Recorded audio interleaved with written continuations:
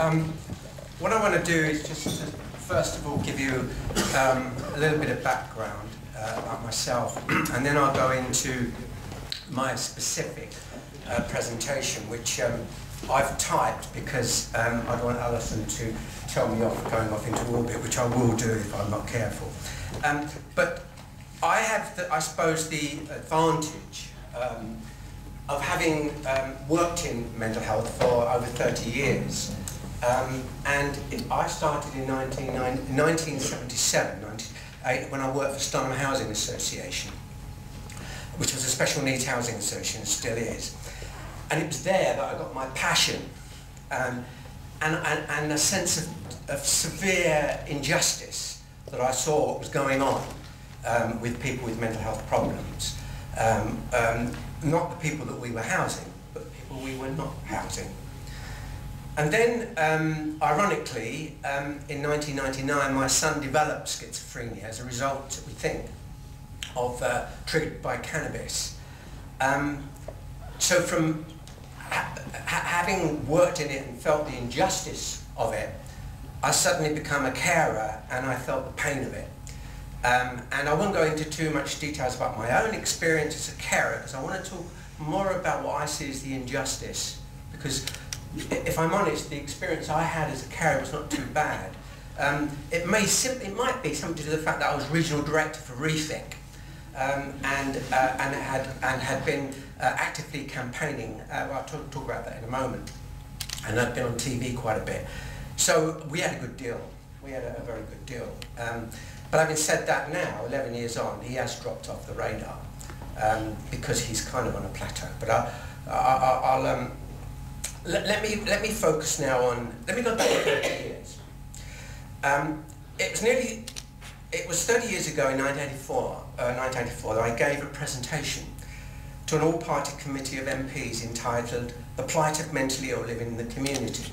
This was a result of my work working for Stonham and it outlined a failure of, communi of community care, um, the failures of community care, and our increasing numbers of people with severe mental illness were being what I described were being discharged from 19th century institutions into 20th century poverty. Three years later, uh, in 1987, I met with an investigative journalist from the Sunday Times and I supplied her with a dossier uh, which outlined a catalogue of failures um, we met actually at Southampton Station in a very dark corner.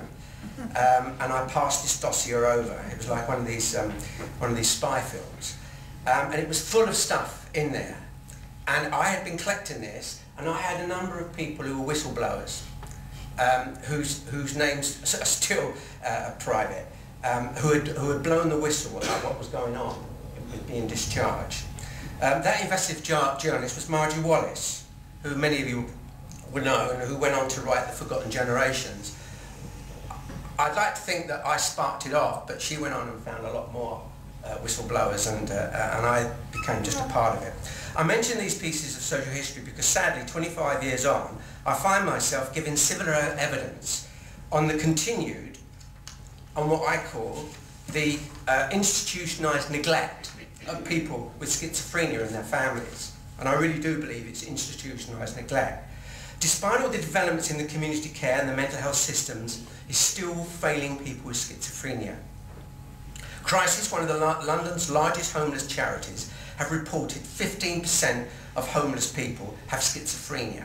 According to the Royal College of Psychiatrists, nearly 5,000 people with psychosis are in British prisons. I actually did my own work and I actually rang a few prisons and people were saying to me, this is, this is seriously bad. This was in the last couple of years. And likewise, I've been ringing around a lot of homeless towns and the anecdotal evidence is scary and I think it's getting worse. Um, we've got, and, and then 10% of people with schizophrenia die from suicide, one in 10. I think it's, it's, it's, it's, it's horrendous. So why is this still happening? I believe far too many professionals in healthcare, and especially those in social care, have quite simply failed to understand the complex and problematical nature of schizophrenia. There is, in my view, little comparison between the life-changing effects caused by schizophrenia than other forms of mental illness. And whilst I don't want to uh, denigrate denigrate the, the impact of mental illness is every single mental illness is, is, is horrendous for anybody. What I'm simply saying uh, to the Commission is that schizophrenia is profoundly different. Only 20% survive the worst ravages of this dreadful condition. Most people who develop schizophrenia do not go on to live normal lives. Most are unable to work. Few get married or successfully socially integrate or become prime ministers, spin doctors or comic geniuses. I believe many policymakers and politicians have been seduced into ideolo ideologically driven policies.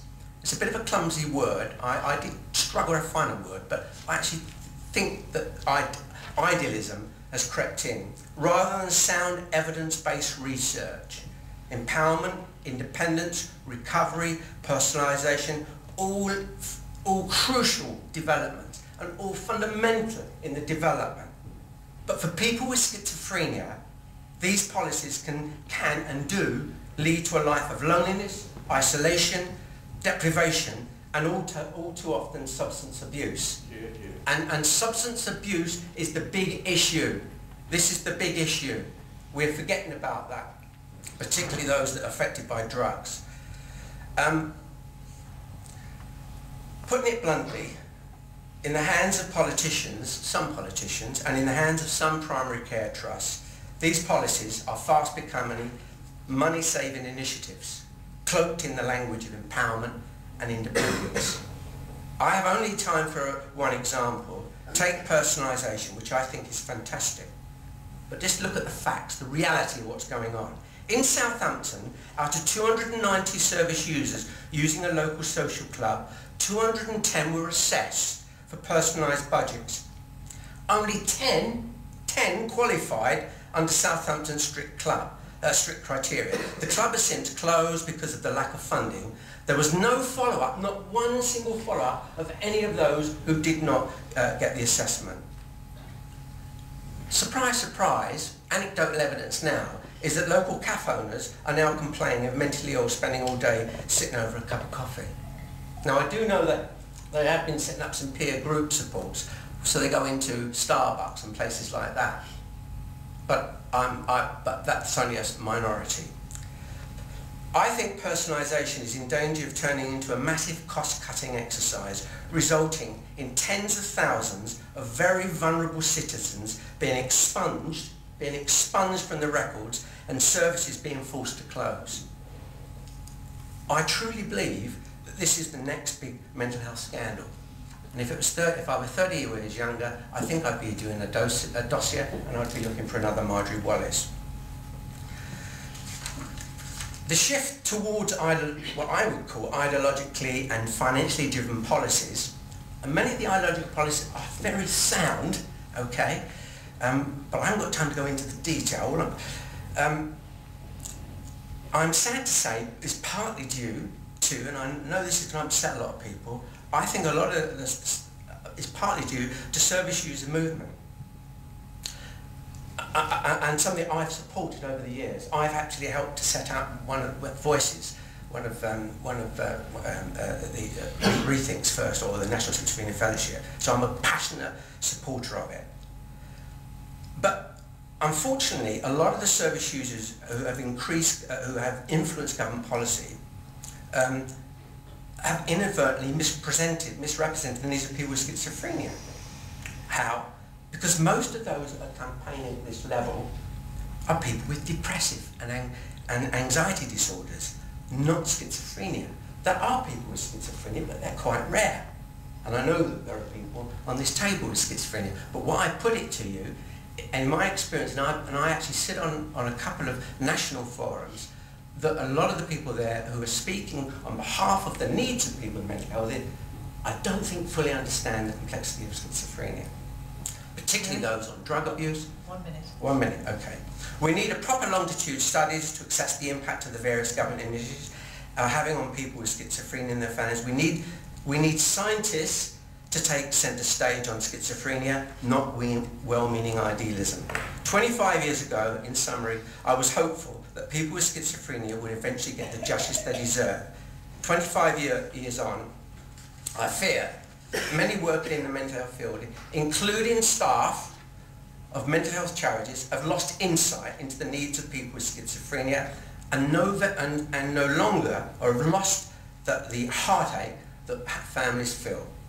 I can only hope that when I die, my son will be living in a society that does eventually empathise and understand his disability and will fight for his rights so that he, does not become a burden to my daughter and grandchildren. Thanks very much.